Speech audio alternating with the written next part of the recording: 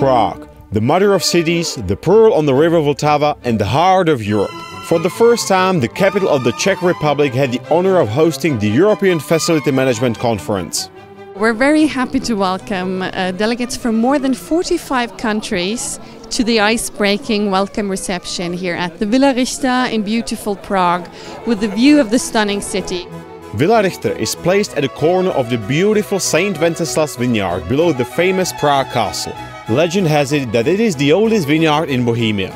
It was allegedly cultivated by the patron saint of the Czech nation, Prince Wenceslas. This national cultural monument offered a warm welcome to facility management professionals from all around the world.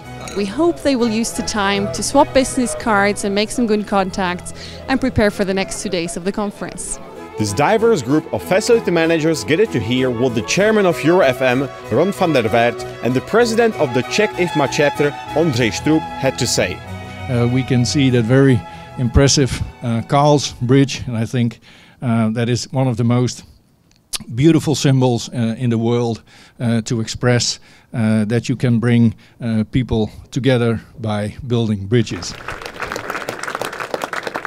we decided last year that our chapter will join with Slovak Association of Facility Management. Uh, we are hosting you today like two chapters, again like Czechoslovak Republic. So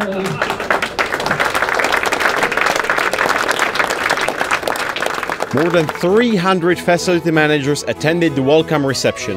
What could all these people look forward to? We have the combination of a business track and a scientific track, uh, that we always choose a nice city to be in, uh, that we also think about the social aspects of uh, gathering and of meeting each other. And I think that combination, I think, is a unique selling point of the conference. EFMC provides an opportunity for us to just connect with one another again, some for the first time, and share best practices on how we were able to provide enduring solutions with specific clients where we currently serve.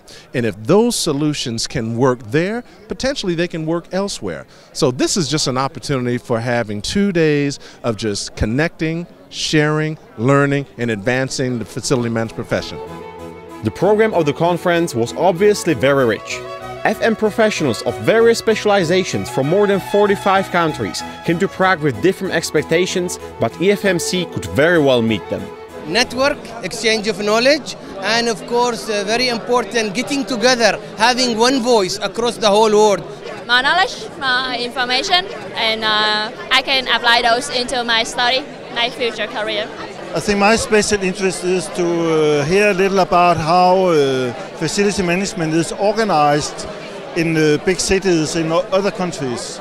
I expect a lot of knowledge uh, exchange, and uh, it's broadening my horizon in uh, how the FM industry is actually uh, operating.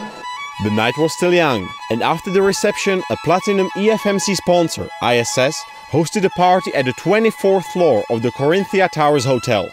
Já jsem především hrozně rád, že tato konference je v Praze, je v České republice a je eh, vůbec ve východní Evropě. Náš trh v porovnání eh, s trhem, eh, ať už americkým, skandinávským, Anglie, je možná 20-30 let zpátky v oblasti outsourcingu a proto strašně moc potřebuje vzdělávat. The guests could enjoy a magnificent night view over Prague. Not only fine refreshments and good company gave a tone to the evening though.